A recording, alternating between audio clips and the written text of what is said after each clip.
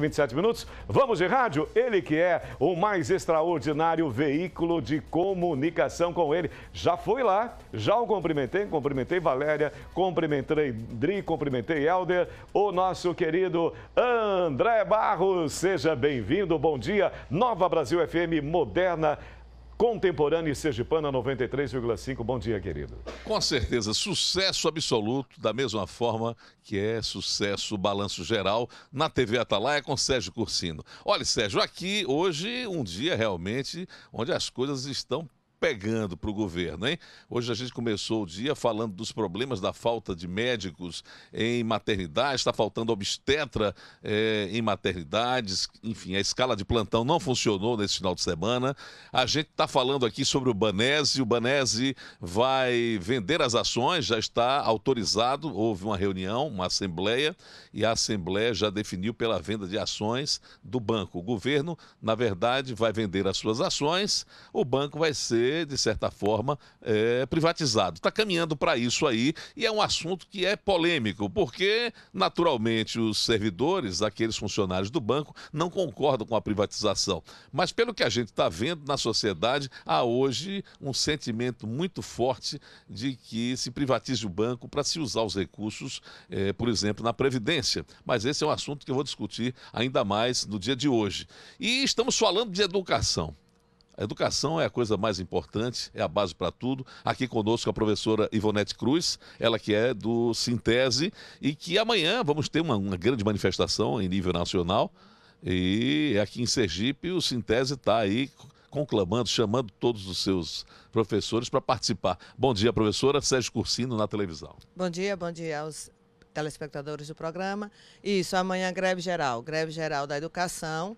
Nacionalmente, os, os, trabalhadores em educação estarão paralisados. Aqui em Sergipe, nós estaremos paralisados. Professores de rede estadual, professores de redes municipais.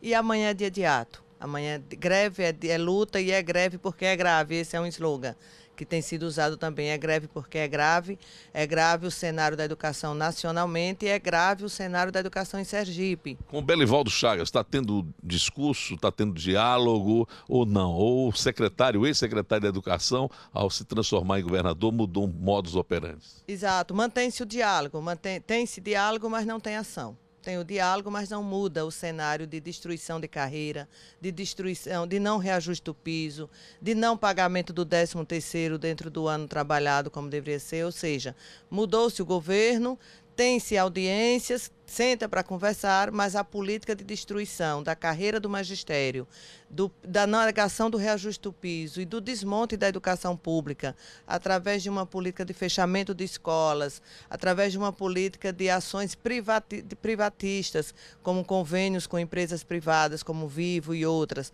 de para implementar a política de educação pública, deveria ser discutida com, com órgãos públicos, é muito difícil. A questão salarial é, sem dúvida, uma coisa complicada. Tem, tem professor com mestrado ganhando igual a professor início de carreira, né? Esse é um dos mais graves problemas que a gente vive ao longo do tempo. A carreira do magistério destruída, um professor de nível médio ganhando o mesmo salário de um professor com mestrado. O governador Belivaldo, na sua campanha, dizia que vinha para resolver e os professores estão cobrando nas ruas que o governo Belivaldo resolva. Professor Ivonete, obrigado. Amanhã, portanto, Sérgio Cursino, caros telespectadores, amanhã, portanto, uma greve geral na área da educação, hein? É complicado. educação é coisa séria.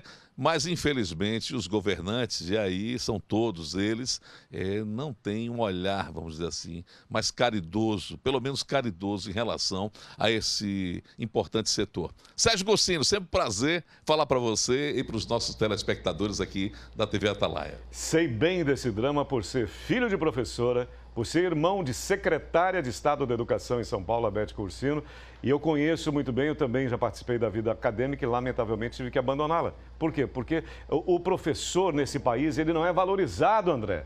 O professor não é reconhecido. O professor, ele não, não tem esse reconhecimento por parte da população, muitas das vezes, mas principalmente do governo. Do governo. Então, assim, falta isso, falta esse reconhecimento.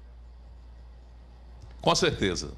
É lamentável, lamentável, que isso esteja acontecendo. A gente torce para que o ex-secretário da Educação, ex-governador que sempre trabalhou pela educação, pelo menos a gente tinha essa impressão, ele agora que está com a caneta na mão, que ele faça alguma coisa, né? Eu sei das dificuldades, você sabe das dificuldades. Agora, é, lidar só com discurso, as pessoas cansaram, né? E aí a turma fica dizendo, viu, Cursino, chega de gogó-vernos, né? Vamos partir para as ações. Tá certo. Obrigado, professora. Valéria, obrigado, André. Muito obrigado. Tive a, a honra e o privilégio de cumprimentá-los logo pela manhãzinha. Gente maravilhosa fazendo rádio de qualidade.